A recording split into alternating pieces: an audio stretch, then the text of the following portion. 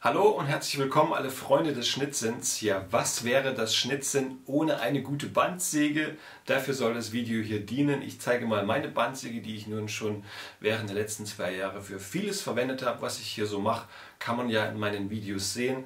Vieles habe ich mit dieser Bandsäge bereits gemacht. Die hat sehr gute Dienste geleistet. Das kann ich schon mal vorweg sagen. Zur Einschätzung und Stand heute ist diese Maschine ganze 43 Jahre alt.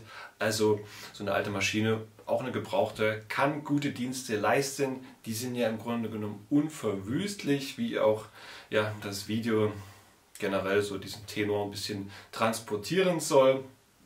Und es soll vielleicht auch helfen, eine Entscheidung zu treffen, nun eine gebrauchte, eine größere oder ja, welche Maschine soll es genau sein. Das musst du letztendlich selber entscheiden, aber es kann ein wenig helfen, auf dem Weg zur eigenen Bandsäge. Und dazu möchte ich auch ermutigen. Ich habe einige Schnitzer kennengelernt nun in meinem ja, Schnitzleben.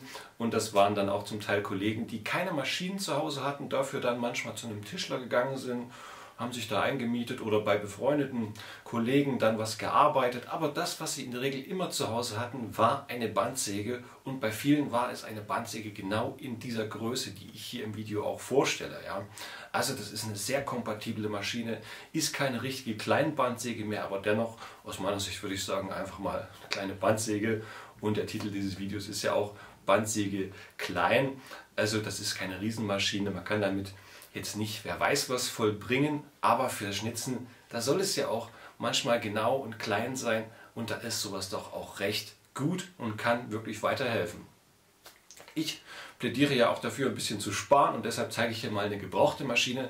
Wenn du aber sagst, du willst sowas in neu kaufen, was ich sehr gut nachvollziehen kann, ja, und vielleicht auch gerne Garantie hättest oder jemand, der dich da betreut vom Haus dieser Firma, für die du dich entscheiden wirst, dann guck dir mal das Video von Heiko Rech an oder besser gesagt die Videos von Heiko Rech. Also Heiko Rech ist Tischlermeister und alles, was er so rausgibt, kann man eigentlich immer uneingeschränkt empfehlen. Ich habe da auch einiges gelernt. Ich bin ja nun auch kein gelernter Tischler und er macht das richtig gut und gibt immer gute Tipps, hat auch Videokurse, gibt eigene Kurse im Saarland, also Kurswerkstatt Saar. Wen das interessiert, kann da vielleicht auch mal was buchen. Mache jetzt hier Werbung für ihn, aber falls Sie das sehen sollten, Herr Rech, auch herzliche Grüße an dieser Stelle.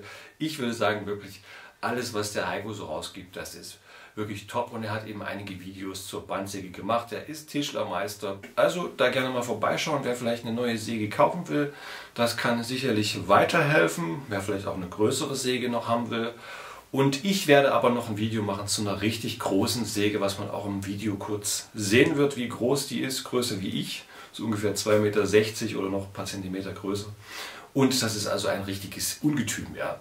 Und dazu werde ich später aber noch ein Video machen in der neuen Werkstatt. Da bin ich jetzt so langsam angekommen und deshalb gibt es auch gerade so ja, kaum Videos, weil ich nicht dazu komme, sondern ähm, ja, dort mich erstmal reinfitzen muss, so die Küche privat aufbauen und solche Sachen mich gerade daran hindern, hier weiter zu produzieren, Videos, weil das ja auch nebenbei geschieht und ich mache natürlich auch noch meine Aufträge weiter und das hat jetzt erstmal Priorität, ja, dass ich all diese Dinge unter einen Hut bekomme und deshalb fällt YouTube so ein bisschen hinten runter. Also Entschuldigung, aber ich glaube, man kann trotzdem jetzt hier von diesem Video auch wieder profitieren und da wünsche ich jetzt allen viel Spaß beim Zuschauen.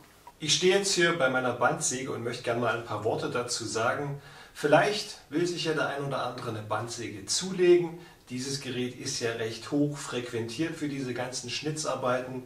Also ich nehme die Bandsäge sehr, sehr gerne und ich möchte darauf nicht verzichten. Ich habe aber auch von vielen Leuten gehört, dass sie so Bedenken haben, mit einer Bandsäge zu arbeiten, auch mit jüngeren Leuten, die hier waren für Schnitzkurse und so, die sich da ängstlich geäußert haben, haben gesagt, ja, die Bänder können brechen und da kann ich mir irgendwie verletzen und da können irgendwelche Dinge passieren, die vielleicht unvorhergesehen sind und der ganze Dreck und Staub und die Maschine überhaupt einzustellen. Also man baut sich da vielleicht auch wie so ein, ja, zu viele Gefahren auf, die nicht wirklich in der Praxis sich belegen lassen. Denn wenn ich die Bandsäge einmal vernünftig eingestellt habe, dann habe ich erstens Erfahrung gesammelt, dass ich weiß, wie das Ganze funktioniert und das ist auch wichtig, dass sie vor allem gut eingestellt ist. Ja. Und wenn die Maschine mal grundsolide ist, ja, dann habe ich eben auch eine Maschine, die mir entgegenkommt durch das Gewicht, ja, dass sie immer schön stehen bleibt und diese Bandsägen hier, die laufen ja auch nicht so schnell. Also wir reden hier noch von einer kleineren Bandsäge. Das ist keine richtige Kleinbandsäge, weil diese kleinen Bandsägen zeichnen sich dadurch aus, dass die Bandlänge unter 2 Meter ist. Also es wären jetzt so Baumarktgeräte mit 250er Rollendurchmesser oder sowas oder vielleicht bis 350er Rollendurchmesser, je nachdem wie viel Abstand man hier hat, ähm, dass eben immer noch 2 Meter unterschritten werden. Hier sind wir schon bei fast 3 Meter Bandlänge. Wir haben hier entsprechend 40er Rollen. Ich kann das Ganze ja mal kurz aufmachen, dass man auch mal hier reingucken kann. Also es ist eine schöne alte Bandsäge, Baujahr 1979, Made in Bulgaria steht da drauf. Und das Ganze ist aus dem Werk für Holzbearbeitungsmaschinen aus äh, Koinare. Das war wahrscheinlich unsere Zusammenarbeit mit dem deutschen Teil im Ostblock, DDR und so. Auf jeden Fall grundsolide, die Maschine ist schön, schwer über 300 Kilo, wir haben sie gerade so hier reinbekommen. Warum habe ich die letztendlich genommen? Der Rollendurchmesser von 40 cm ist ja jetzt doch nicht allzu groß. Ja? Also hier der Abstand, da hat man ja gerne ähm, nie genug. Ja? Und auch hier will man gerne viel Abstand haben, wenn man mal eine Bohle hochkant auftrennen will. Aber jetzt geht es ja los. Ja? Was ist jetzt mein Anwendungsfall? Also will ich Bohlen hochkant auftrennen? Eher nicht, ja. Ich will auch keinen Furniersägen, ich will jetzt nicht unbedingt Tischlerarbeiten machen, das ist nicht das, was ich anvisiere. Natürlich ist es schön, hier mehr Platz zu haben, klar. Wenn man das hat zu Hause, den Platz, auch ein bisschen mehr Geld zur Verfügung, Starkstrom, kann man sich eine größere Bandsäge zulegen. Ich habe hier zu der 40er Bandsäge gegriffen, denn ich wollte die noch alleine transportieren. Ich habe das recht spontan entschieden. Die andere mit diesen äh, drei Rollen, die man ja vielleicht noch aus meinen früheren Videos kennt, die hatte eben hier oben eine Rolle, hier unten eine Rolle und hier hinten eine Rolle. Dadurch wurde der Abstand hier recht groß, aber die war aus Aluminiumdruckguss und die habe ich auch über zehn Jahre, glaube ich, wirklich benutzt, ja, also doch sehr lange. Und die habe ich an jemand verkaufen können, an einen Tischler, der einfach nur ganz kleine, feine Schnitte damit machen wollte für bestimmte Arbeiten. Und da habe ich einiges an Geld verdient und das habe ich in die Hand genommen und habe bei eBay Kleinanzeigen jetzt gesucht, was passt in meinen Rahmen und die war zuerst für 600 Euro ausgeschrieben. Ja, dann habe ich ein bisschen gewartet, bis der Preis ein bisschen gesunken ist noch, weil dafür haben sich nicht viele interessiert, weil die alle dachten, das ist Schrott. Ja. Und dann habe ich also die Person kontaktiert und habe gesagt, ich würde gerne nur 300 Euro dafür ausgeben. Wäre das okay für Sie? Und die Person ist sofort darauf eingegangen und ich habe gesagt, okay, ich komme direkt jetzt am Wochenende vorbei mit einer Person, wir laden das ein. Wir haben das einfach nur, also auf diese Seite hier im Transporter so hinten reingekippt, dann mit zwei oder nee, mit drei Leuten hinten hochgehoben. Das geht recht einfach, ja, weil die Maschine bewegt sich über diesen Punkt recht gut und dann kann man sie schön in den Transporter reinschieben. Also das war mir wichtig, ja, dass das alles irgendwie noch kompatibel ist. Und dann haben wir gena sie genauso wieder nur mit zwei Leuten aus dem Transporter ganz vorsichtig rausrutschen lassen über diese Kante hier. Und das kann man ja wieder neu einstellen, wenn sich das verschiebt. Der Tisch hat sich ein bisschen leicht verschoben. Das kann man mit einer Schraube, das sind dicke Schrauben unten drin, wieder festziehen. Den kann man ja kippen. Bis 45 Grad kann man diesen Tisch hochschwenken. Ja, obwohl das eine alte Maschine ist, 43 Jahre alt, geht das hier. Das ist grandios. Alles noch verarbeitet, richtig gut. Die Lager sind gut, die Räder laufen genau. Das kann man ja alles überprüfen, auch wenn man jetzt eine ähm, Maschine angeboten bekommt. Man kann die ähm, Fluchten überprüfen, dass die genau in der Flucht sind, diese Räder hier. Das zudem, wenn man noch ein Band hat und meistens ist ja noch ein altes Band drauf, dann sieht man das schon mal. Und man kann die Lager überprüfen, ob die irgendwie schlagen. Man kann die Führung überprüfen, ob sich hier irgendwas eingelaufen hat. Diese Teller kann man auch erneuern, das sind ja Verschleißteile. Und man muss darauf achten, dass man das Ganze fetten kann. Hier ist so ein Fettnippel und dass ich es auch verstellen kann. Und ich habe dann auch festgestellt, als ich die Maschine genau untersucht habe, dass diese ganzen Räder hier, diese Plastikräder, noch alle scharfkantig waren von der Produktion. Das heißt, diese Maschine war kaum in Gebrauch, weil jemand, der das öfter anfasst, hätte dies bereits schon vorher glatt geschliffen. So wie ich das dann auch getan habe.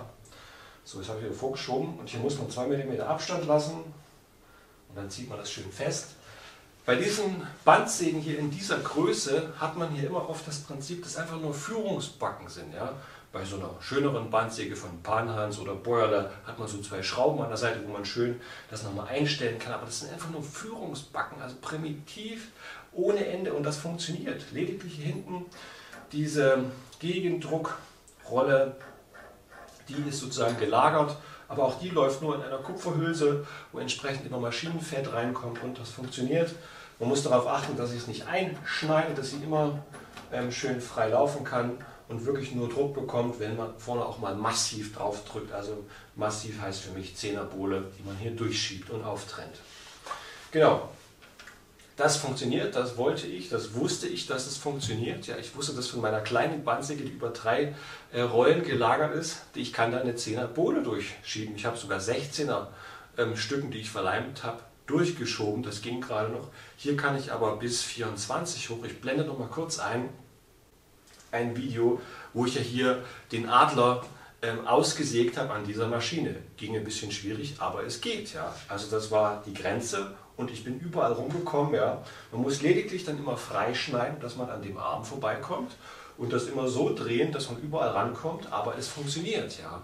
Von daher, warum muss ich jetzt hier eine ja, gigantische, große oder noch eine teurere Bandsäge kaufen? Also ich habe die Aussage von anderen ähm, Schnitzern gehört, also unter 3000 Euro brauchst du überhaupt nicht anfangen. Ist, ist das wirklich so? Ja? Das möchte ich mal ähm, grundlegend mal hinterfragen. Ja? Wie gesagt, ich habe 300 Euro ausgegeben, habe meine alte Bandsäge verkauft, habe das Geld genommen, war sogar noch was übrig und davon konnte ich noch den Elektriker bezahlen, dass er das ganze Ding mal durchcheckt, denn das ist ja alte Osttechnik hier und das war mit dem Stromkreislauf hier nicht kompatibel. Da ist immer der FI rausgeflogen. Der hat das durchgecheckt, an einem Nachmittag mal kurz hinten ein paar Sicherungen ausgetauscht und irgendwie, keine Ahnung, auf jeden Fall lief es dann wieder, weil diese Maschine hat eine mechanische Bremse.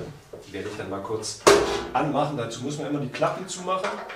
Das ist übrigens auch ähm, sehr wichtig, dass die Klappen ordentlich aus äh, entsprechend auch Guss oder Stahl sind, mindestens, dass das Ganze auch schön geschützt ist. Ja? Also so ein altes Ding, wo einfach nur so ein Holzding irgendwie drüber wabelt, nee, ist nicht so mein Ding. Also das ist richtig schön hier, das hat mir auch gefallen, das war auch ein Grund, das dann zu kaufen.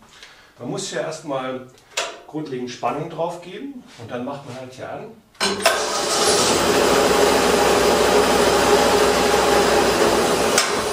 wenn ich jetzt auf Ausdruck habe ich eine leichte Verzögerung, bis die mechanische Bremse sich reinhaut, ist eine mechanische Bremse drin und das hat der Elektriker auch nochmal durchgecheckt, die war ein bisschen irgendwie fest, da haben wir erst ein bisschen rumgetüffelt, aber das ging dann alles auch.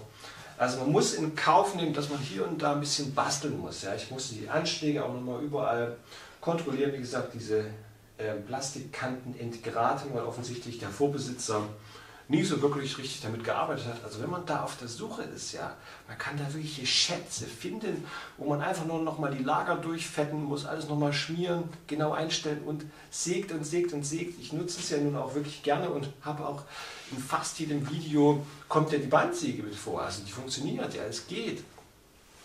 3000 Euro würde ich dafür nicht ausgeben wollen. Ja.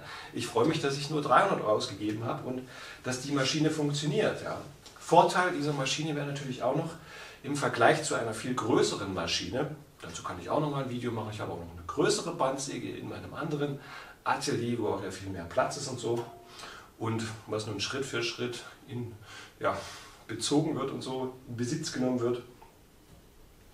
Ähm, da habe ich noch die große Maschine. Ich habe mich aber hier für die kleine entschieden, dass ich sie noch hier rein transportieren kann ähm, und dass ich damit auch meine eher kleinformatigen Teile hier ein bisschen zusägen kann. Dafür reicht es mal. Die laufen nicht so schnell ja? und auch die Bänder sind hier nicht so grob wie bei einer großen Maschine. Und wenn ich jetzt eine wirklich kleine Arbeit habe, wo ich ja immer in die Nähe der Schnittlinie komme, die ja hier auch markiert ist, durch diesen getrennten Tisch, wo ich das Blatt rausnehmen kann, ich komme ja oftmals in die Nähe dieser Schnittlinie, weil ich das festhalten muss auf dem Tisch. Und ich kann nicht immer nur außen anpacken, das geht halt nicht immer, sondern bei kleinen Sachen muss ich halt auch mal dahin greifen. Wenn das Band jetzt hier zu grob ist oder zu schnell läuft bei einer großen Maschine, Zimmerei, Bandsägen, die sollen ja auch viele Meter pro Minute schaffen, dass man damit wirklich arbeiten kann, effizient den ganzen Tag. Und dann laufen die eventuell zu schnell ja, für so eine kleine Schnitzarbeit, die ich da aussägen möchte. Die könnte mir das also aus der Hand reißen, so eine große Maschine, wenn ich da so ein, ähm, eine wirkliche Zahnteilung mit einem richtigen Schrank drauf habe, dann kann es mir das schnell aus der Hand reißen und da reindrehen, sogar ins Blatt. Ja. Alles schon gesehen. Also von daher sind diese kleinen Maschinen, die nicht so schnell laufen, die läuft nicht so schnell wie so eine große, ja, entsprechend langsamer, kleinere Zahnteilung, 6 mm Zahnteilung reicht hier. Und dann ein Premium-Blatt drauf machen. Und wie man schon auch gesehen hat, das Blatt muss eben richtig eingestellt sein. Dann ist die Frage, das muss ich mir gut angucken beim Kauf auch einer gebrauchten Maschine. Deshalb empfiehlt es sich da so alte Premium-Hersteller zu nehmen, wo eventuell ähm, der Bandbelag oben schon ja, geballt ist, der ballig ist, ja, weil dann der Schrank nicht aus dem Blatt rausgedrückt wird. Bei dieser Bandsäge ist das nicht der Fall. Das ist einfach nur gerade der Belag des Bandes, also hier die Schmalfläche der Rolle. Entsprechend, die ist einfach nur gerade, ganz flach.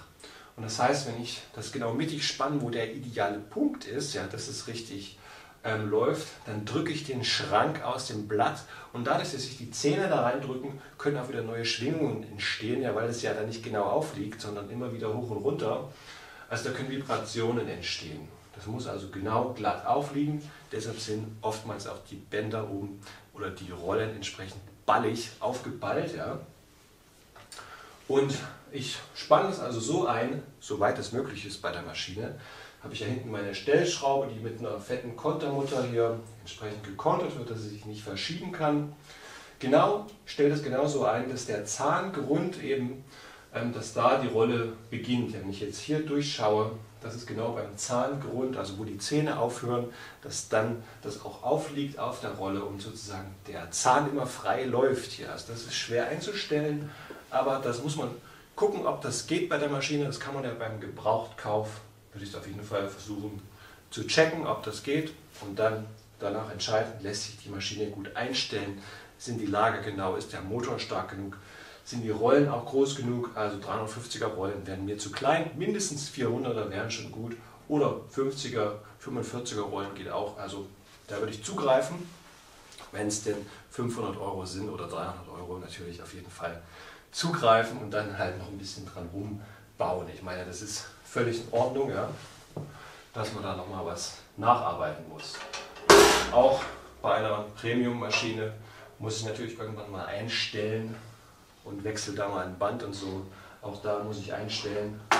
Wenn die Maschine natürlich Freude macht, weil sie sich wundervoll einstellen lässt und einfach nur super arbeitet, dann ist natürlich schön, wenn man so eine neue Maschine kaufen kann. Also wer das Geld hat und da muss man noch mal genau überlegen, was habe ich wirklich vor, ja? wie sieht mein Geldbeutel aus und brauche ich vielleicht auch eine Betreuung durch so eine Fachperson, irgendwie ein Vertriebler oder ja, ein Mann aus dem Haus, also Felder hat so Leute, die flexibel sind, wenn man da irgendwo in der Nähe wohnt, einer Filiale, kann es natürlich auch Sinn machen, sich eine neue Maschine zu kaufen, weil man dann betreut wird, vielleicht entsprechende Ersatzteile äh, immer wieder bekommt oder irgendwas, was da zu tun ist, nochmal gut klären kann über die Firma, die sowas vertreibt, ja, also Felder hat da scheinbar ein gutes System. Man kann aber auch zu Hammer gehen, das ist der günstigere Hersteller, der hat zum Beispiel 45er also Bandsägen, glaube ich, im Angebot. Und dann kann man auch nochmal vergleichen mit der größten Säge von Hammer, also diesem, ähm, ich sage mal, semi-professionellen Hersteller für die semi-professionelle Anwendung. Wenn man jetzt vergleicht mit Felder für vielleicht eher professionelle Anwendungen schon in, oder geht langsam in die Richtung, die kleinste Bandsäge von Felder wären dann die 50er. Wenn man das miteinander vergleicht, merkt man, die Preisdifferenz ist auf einmal gar nicht mehr so groß und dann kann man sich auch für eine 50er entscheiden. Gut, wenn man das nötige Geld hat für so eine neue Maschine. Ich plädiere ja dafür, die Gebrauchten zu kaufen, weil sie es einfach tun. Wir leben ja in so einer Zeit, wo wir Verbraucher genannt werden, vielleicht von der Politik oder von offizieller Seite her, von irgendwelchen Unternehmen. Aber ich meine, wie kann man denn eine Bandsäge verbrauchen? Also, das ist irgendwo auch so ein bisschen vielleicht unsere Denke, ja, immer schön neu, immer irgendwas Neues, ja. Und dann verschleißt da irgendwas, das sind eigentlich Teile, die man immer austauschen kann. Wenn man vielleicht was ganz Neues nimmt, ist es extra so verbaut, dass man es nicht mehr austauschen kann. Aber hier kann man ja noch alles austauschen. Ja. Auch bei einer Panhans, bei einer HEMA-Bandsäge, bei einer Bäuerle-Bandsäge. Also zugreifen, wenn man irgendwo rankommt, ab 40 cm Rollendurchmesser. Wenn der Preis stimmt, würde ich bis 1500 Euro mitgehen. Also wenn sie entsprechend dann größer ist für eine 60er Bandsäge, wäre ich durchaus bereit, auch 1500 Euro gebraucht auszugeben, wenn die gut aussieht und in Schuss ist. Aber ich würde jetzt nicht äh, zweieinhalbtausend Euro eher nicht ausgeben. Ja. Es muss dann schon passen, so im, im Verhältnis, dass da alles dann auch wirklich deluxe ist und wenn man da vielleicht freundschaftlich ein Angebot bekommt, ja, zugreifen, wenn man die Möglichkeit hat, es zu transportieren, Aufstellmöglichkeiten, Starkstrom und Anwendung, alles passt, ja, dann würde ich so eine gebrauchte Maschine kaufen. Ich habe mich hier für die 40er entschieden, weil es erstmal hier völlig reicht und der Preis ähm, und der Ort gestimmt hat, wo ich das abholen konnte, was ja also nicht weit weg war und alles. Und ich sofort die Maschine auch schnell tauschen konnte, meine alte kleine verkauft habe, die etwas größere geholt habe, die hat mehr Kraft, 1,1 kW hat sie. Das reicht ja. Ich kann eine, also eine 10 cm Bohle auftrennen, das sollte sie auch schaffen und können. Und das wäre auch die Empfehlung. Ja. Also das schafft für Schnitzen ist das schon mal ein guter Richtwert. Viel dickere Bohlen hat man eigentlich selten. Ja, vielleicht hat man mal irgendwie ein dickeres Stück. Ja klar ist es dann gut, wenn man dicker kann, aber auch diese hier, diese Stücken habe ich hier entsprechend aufgesägt und man sieht ja bereits, dass das mehr wie 10 cm sind. Allerdings habe ich mich hier einmal versägt, weil ich dann noch die originalen Bänder verwendet habe, was ich nicht empfehlen kann. Die Stärke der Bänder ist auch noch relevant. Ja. Die muss zu dem Rollendurchmesser passen. Ja. Man sagt, ein Tausendstel des Rollendurchmessers sollte die Stärke des Bandes betragen. Wenn wir also 40 ähm, durch äh, 1000 rechnen, kommen wir auf 0,4. Also ähm, 0,4 mm, 4 Zehntel Millimeter muss das Band dick sein, dann hat es die richtige ähm, ja, Biegefunktion in sich, die richtige Stärke. Das soll sich ja über das Band hier oben drüber biegen und dafür muss es einfach die richtige Stärke haben. Genau. 0,4 mm wären hier gut. Im Handel gibt es aber erst meistens Blätter ab 0,45 mm. Das geht aber auch, weil die nicht so schnell drehen. Ja.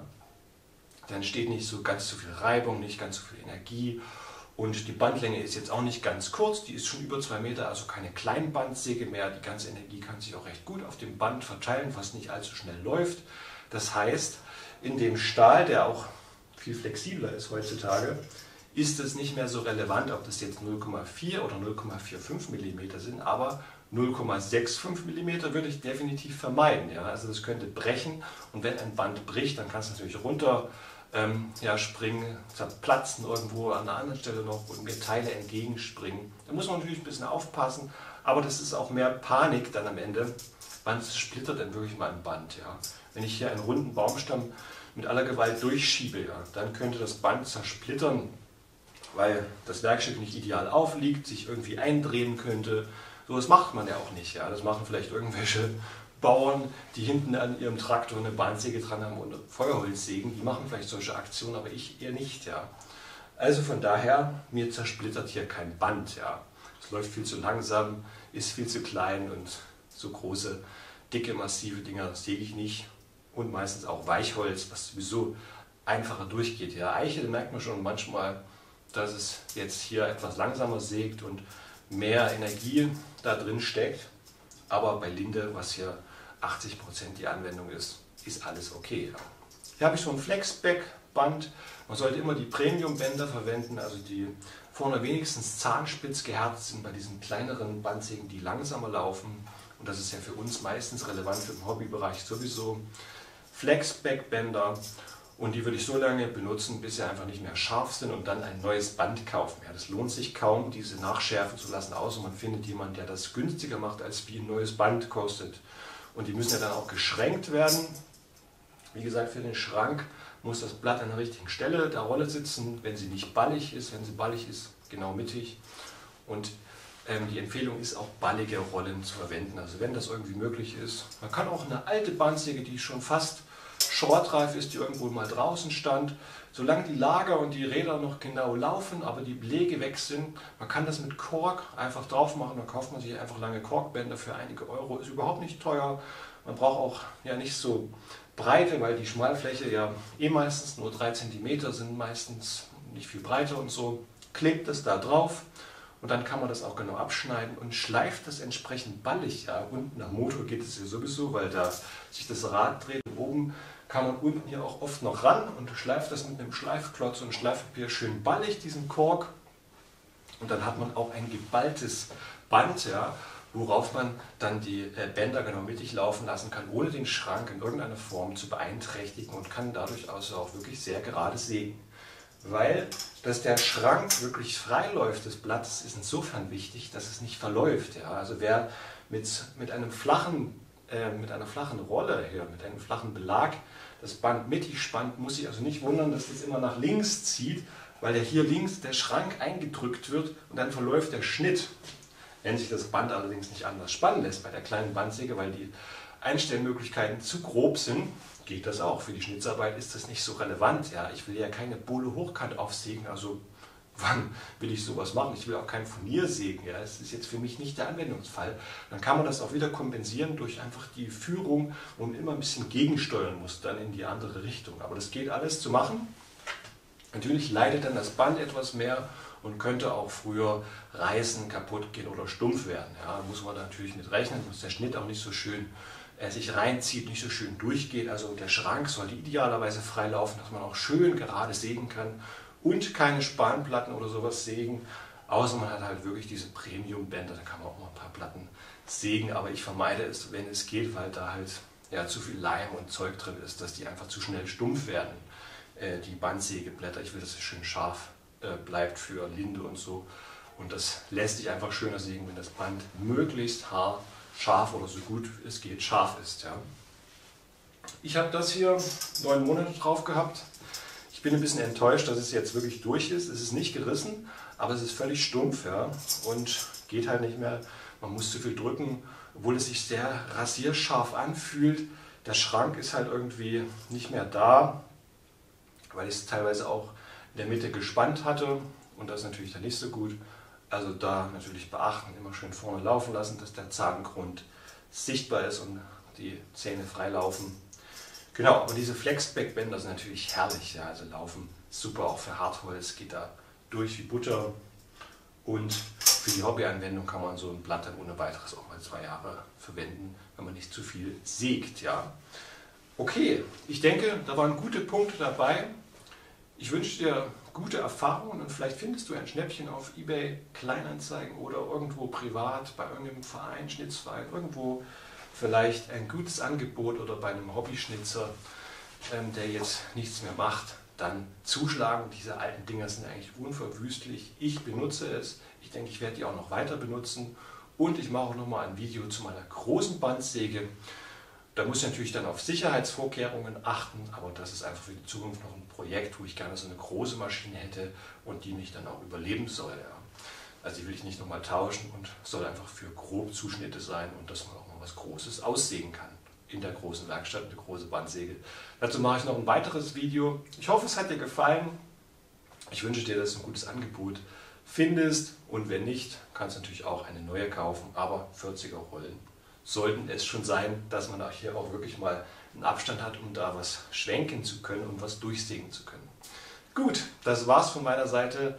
Herzlichen Dank fürs Zuschauen. Wenn es dir gefallen hat, gib mir gerne einen Daumen nach oben, schreib deine Meinung in die Kommentare und verfolge mich weiter. Lasse gerne hier ein Abo da und abonniere gerne diesen Kanal, dass du keine Videos mehr verpasst. Ja, meine persönliche Situation ist, dass ich mich jetzt gerade mit meiner guten Fotokamera filme, die ja auch filmen kann aber die ich niemals in der Werkstatt gebrauche eigentlich, dass sie nicht verdreckt. Und ich habe dafür so alte Geräte, die ich gebraucht kaufe und ist mir jetzt meine ja, Hauptkamera sozusagen kaputt gegangen, die technisch von der Software her irgendwie nicht mehr geht oder elektronisch. Da ist irgendwas kaputt gegangen, funktioniert nicht mehr, geht nicht mehr an, ist auch komplett verdreckt durch den ganzen Staub, so beim Sägen oder Schleifen und auch mit entsprechenden Marmorsachen. Da hat sie offensichtlich gelitten. Also ich muss eine neue kaufen, wieder gebraucht. Da stehen so 400, 500 Euro an. Wenn du mich gerne unterstützen willst, ich schreibe hier mal meinen PayPal-Link rein und verlinke das auch nochmal unter dem Video. Ich freue mich über jede Unterstützung. Alles ab 5 Euro und aufwärts hilft wirklich weiter. Herzlichen Dank für alle, die das schon gemacht haben. Und wenn du von diesem Kanal profitierst und hier auch was gelernt hast und es dir geholfen hat, freue ich mich auch, wenn du es wieder in irgendeiner Form zurückgibst. In diesem Sinne, mach's gut, bis zum Wiedersehen und ciao.